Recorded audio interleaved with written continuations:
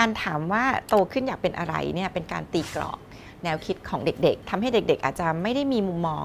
ต่อการเลือกสิ่งที่ตัวเองชอบหรืออยากทำเวลาเขาตอบไปว่าอยากเป็นหมอแล้วพ่อแม่ดูสายตาเป็นประกาย พ่อแม่ดูดีใจเขาก็จะรู้สึกว่า เอ้ย อันนี้เป็นความคาดหวัง เป็นความสุขของพ่อแม่แล้วเด็กบางคนก็แบกมัน เอาไว้อยู่ในเนื้อในตัว แล้วก็คิดว่าตัวเองมีหน้าที่ที่ทำให้พ่อแม่รู้สึกมีความสุขแล้วก็พอใจ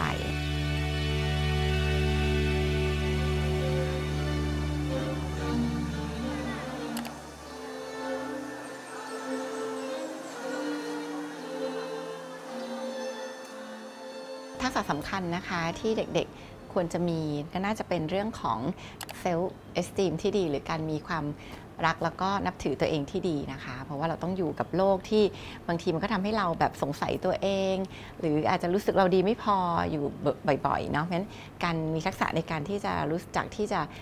รักเมตตาตัวเอง แล้วก็เคารพตัวเองก็น่าจะเป็นเรื่องสำคัญนะคะเซเวสตีมาจากการที่เราเชื่อว่าเราเป็นคนที่มีความหมายเป็นที่รักนั้นการเติบโตมากับความสัมพันธ์ที่ดี ความสัมพันธ์ที่มั่นคงนะคะ อันนี้ก็จะเป็นสิ่งที่ทำให้เด็กเนี่ยสร้างตัวเซลล์ข้างในนะคะ ที่มั่นคงขึ้น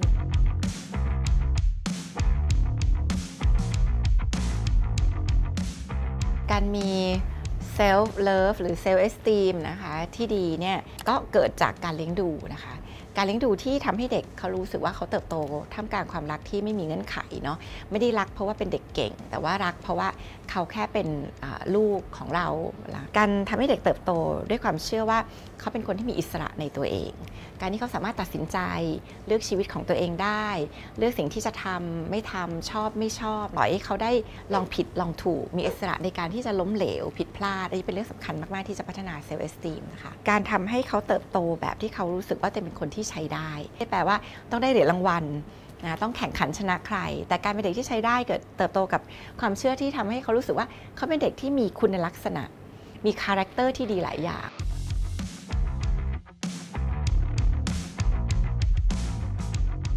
การที่พ่อแม่ทำให้เขารู้ว่าเขามี character ที่มีคุณค่าหลากหลายโดยที่มันไม่ได้เกี่ยวกับการประสบความสำเร็จได้รางวัลเนี่ยจะทำให้เด็กรู้สึกว่าตัวเขาเป็นคนที่ใช้ได้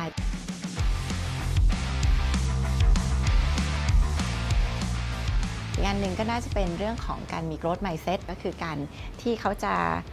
มีความรู้สึกอยากจะทำอะไรที่ท้าทายตัวเอง ให้คุณค่ากับเรื่องของกระบวนการการลงมือทำมากกว่าผลสำเร็จโซเชียลมีเดียมีอะไรที่มันดึงนะคะความสนใจลงไปถึงดึงพลังงานของเรานะคะไปอยู่ตรงนั้นเยอะ อีกอันนึงเนี่ยหมอคิดว่าก็เป็นน่าจะเป็นเรื่องของทักษะในสัปดาห์ที่ 21 ที่เราได้เรียกกันย่อๆว่า 4C เนาะก็มีเรื่องของ creativity ความคิดสร้างสารรค์ เพราะว่าเด็กยุคนี้เขาจะอยู่กับอะไรที่ มันต้องใช้ไอเดียนะคะ สร้างนวัตกรรมใหม่ๆคอมมิวนิเคชันนะคะเรื่องของการสื่อสาร เด็กที่สื่อสารได้ดี ก็จะเป็นเด็กที่อาจจะมีโอกาสมากขึ้นนะคะ critical thinking ก็คือการคิดวิเคราะห์ ก็คือเราจะอยู่กับองค์ความรู้ที่เยอะมาก การมีทักษะการคิดวิเคราะห์เป็นเรื่องสำคัญมาก แล้วก็สี่สุดท้ายก็คือเรื่องของ collaboration ก็คือการทำงานร่วมกับคนอื่นได้ เพราะว่าต่อไปมันอาจจะไม่ได้เป็นลักษณะของ one man show แล้ว เราอาจจะต้อง collaborate ทำงานนะคะกับคนที่มีความถนัดแตกต่างหลากหลาย เพื่อประสบความสำเร็จมากขึ้นงานหนึ่งที่หมอก็คิดว่าอยากจะฝากให้เด็ก ๆ ได้มีก็คือน่าจะเป็นเรื่องของ empathy ทักษะ การเข้าใจหัวใจของคนอื่น แต่ก่อนใน empathy มันเคยถูกมองว่าเป็นเหมือนอุปกรณ์เสริมนะใครมีก็ดีนะคะ แต่จริงๆแล้วเนี่ยปัจจุบันเราพบว่าคนที่มี empathy จะเป็นคนที่มีความสุขแล้วก็ประสบความสำเร็จในชีวิตนะคะ ได้มากกว่าคนที่เด็กทั่วไปที่ไม่มี empathy เนาะ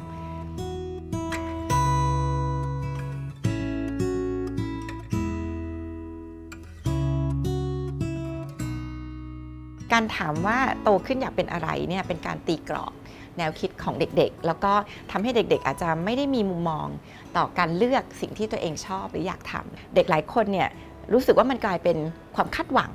กลายเป็นพันธสัญญา เพราะว่าเด็กเขาก็จะอ่านพลังงานเนาะเวลาเขาตอบไปว่าอยากเป็นหมอแล้วพ่อแม่ดูสายตาเป็นประกาย พ่อแม่ดูดีใจเขาก็จะรู้สึกว่า เอ้ย อันนี้เป็นความคาดหวัง เป็นความสุขของพ่อแม่ แล้วเด็กบางคนก็แบกมัน เอาไว้อยู่ในเนื้อในตัว แล้วก็คิดว่าตัวเองมีหน้าที่ที่ทำให้พ่อแม่รู้สึกมีความสุขแล้วก็พอใจ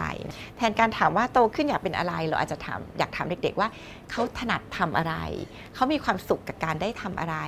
เขาอยากเปลี่ยนแปลงอะไรในโลกนี้ เขาอยากเปลี่ยนแปลงอะไรในสังคมนี้ เขารู้สึก ตาเป็นประกาย หรือเขารู้สึกมีพลังเวลาเขาทำอะไร สิ่งเหล่านี้ค่ะ จะค่อยๆก่อร่าง แล้วก็ประกอบสร้างขึ้นมาเป็นความฝันเป็นแรงจูงใจเนาะเป็นสิ่งที่เด็กรู้สึกว่ามันอาจจะเป็น passion ของเขา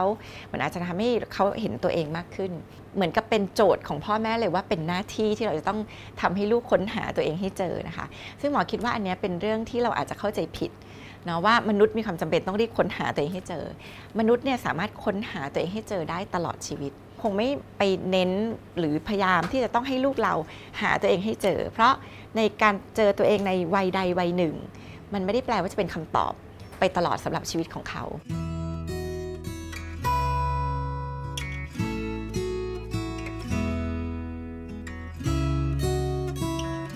การจะทำให้เด็กคนหนึ่งค้นหาตัวเองเจอเนี่ยมันมาจากการมี วิธีคิดที่ดีของ growth mindset หรือวิธีคิดเติบโตเนาะทำให้เขากล้าที่จะเผชิญความล้มเหลว กล้าที่จะลองผิดลองถูก เชื่อแล้วก็ให้คุณค่ากับความพยายามนะคะมากกว่าผลสำเร็จจะทำให้เขาได้ค้นเจอว่าอะไรที่เขาชอบ อะไรที่เขาถนัด อะไรที่เขาไม่ใช่แล้วเขาก็กล้าที่จะยุติหรือหยุดมันคำว่าชีวิตออกแบบได้เนี่ยหมอคิดว่ามันก็ไม่ได้เกิดขึ้นกับทุกชีวิตชีวิตที่ อาจจะขาดโอกาสเนาะบางอย่างเรามีความฝันมีความชอบ แต่พอเราพบว่ามันอาจจะไม่ได้มาซึ่งรายได้ หรือจะช่วยในการดูแลคนในบ้าน ความฝันความหวังตรงนั้นมันอาจจะถูกพับไป การจะออกแบบชีวิตของเราเนี่ยหมอก็เชื่อว่ามันมีข้อจำกัด หลายทีเราอาจจะออกแบบชีวิตของเราไม่ได้เนาะแต่เราช่วยกันออกแบบสังคม แล้วก็พื้นที่ที่เราอยู่นะคะ ด้วยกันได้ เรื่องของการพัฒนาเด็ก เป็นเรื่องสำคัญที่รัฐต้องลงทุน เป็นเรื่องที่รัฐต้องให้ความสำคัญที่สุด